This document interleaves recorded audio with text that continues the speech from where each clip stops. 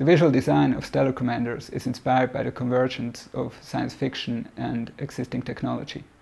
While the units have a realistic touch, they are designed to look futuristic and to feel right at home in space.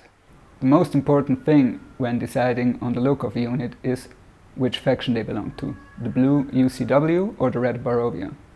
Next to the basic units which can be used by both of the factions, each faction has their special units which are designed to be the stars of the show.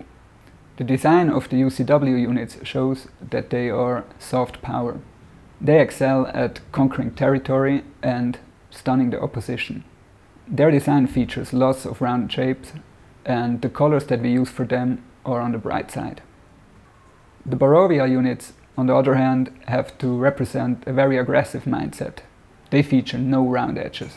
Their design has lots of hard edges and the materials and the colors that we choose are dark and threatening.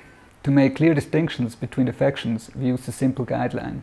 We use a circle for the UCW and a triangle for Barovia.